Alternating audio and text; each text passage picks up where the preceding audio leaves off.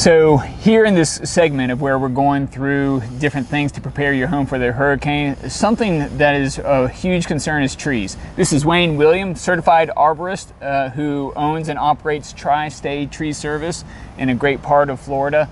So, welcome.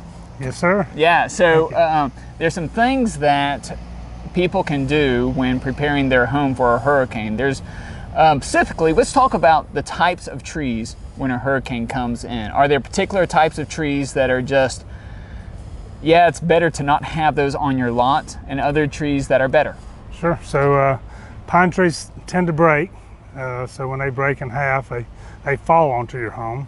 Right. Oaks tend to blow over. So even though they're typically a larger tree, they kind of ease down to your home. Well, I say ease, of course, we've all seen the destruction trees can do to your house, but right. Uh, you know, oaks and pines are the biggest failures. Uh, your ornamental trees fail a lot, but they're small and you don't have to worry so much with them. Okay. Uh, you can go in and keep your canopy cleaned out. Uh, yeah.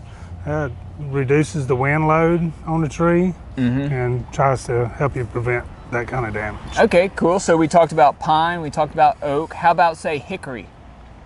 So hickories are relatively strong trees. They usually lose limbs rather mm-hmm. than the whole tree. Okay. Uh, similar with the poplar and the sweet gums. Right. Uh, the limbs are more brittle than the trunk is. So uh, much better to have a hickory or a poplar in your yard with limbs falling on you right. rather than a whole tree. Yes. Okay, yeah. And so, uh, and are, is there a difference between different trees, say between water oak and, I mean, between different oaks, between sure. say water oaks and live oak, for example? So the water oak and the laurel oak is very shallow rooted. Typically, the whole tree fails. Right. Uh, on the live oak, they have a lot of codominant stems where they all come together, multiple trunks. And that's your weak point on the live oak. So it's rare that the root system fails, but the individual sections fail. Right. And that's the perfect tree to reduce the wind sail by cleaning the canopy. Okay, great. When you were talking about co-dominant, uh, co... yeah, co-dominant stem. So yeah, basically, uh, as your tree grows and it divides, uh, it either is a limb or is a stem. Oh, okay. So then the tree thinks two different stems are growing. They both think they're the prominent tree. So they're growing bark all the way around them on the inside. So what appears to look like a crack is actually the bark growing on the inside, pushing the two trunks apart.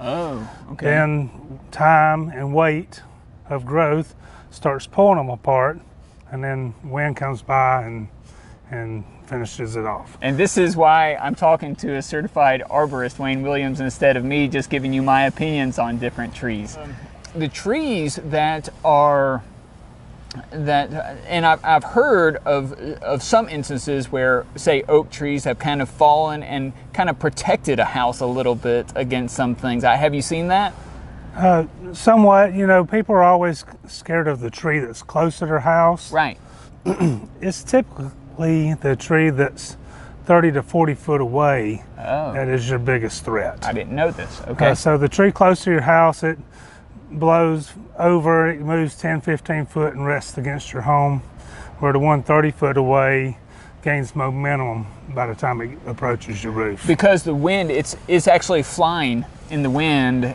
and and uh, it has the momentum to crash into yes, the house. Yes. Okay, great. So let's talk a little bit more about distances from the house. Okay. Uh, right next to the house could be a problem, but probably not the problem that 30 to 40 feet away is. That is correct. Okay. How about 60 feet so away or 60 so? 60 feet away, then you've got tips of the tree hitting the home. Okay. So you're going to not get the impact of the heavy wood.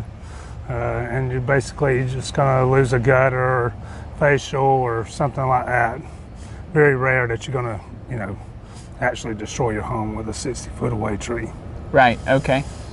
This is something that I have observed. I've heard once that watering your lawn every day can produce a shallow root system for trees, which can cause the tree to fall over easier in this times of true. storm. This is true. Yes.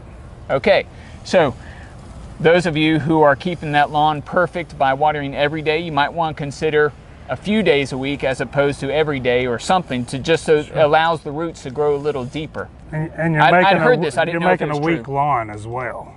You're making a lawn that has to have water every day. Yeah. So its roots aren't going deep enough to survive a drought. Yeah. So Good. This is Wayne Williams, artified, artified, certified arborist with uh, Tri-State Tree Service, and I'm Rob of Rob Brooks Realty. And thank you for watching this segment of preparing your home for the hurricane. thank you.